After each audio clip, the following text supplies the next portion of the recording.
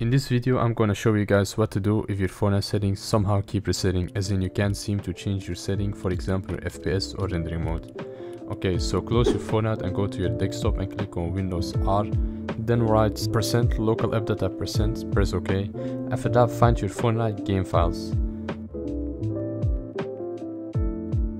Click on saved then config after that, right click on client settings and go to properties. If your read only is unchecked, make sure this box is ticked off and click on apply, then ok.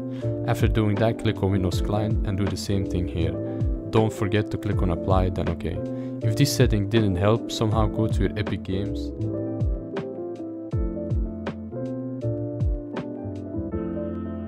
Click on these three dots, go to manage and as you can see here, click on verify. If you have any more question, comment your problem down below and I will try to help you guys out.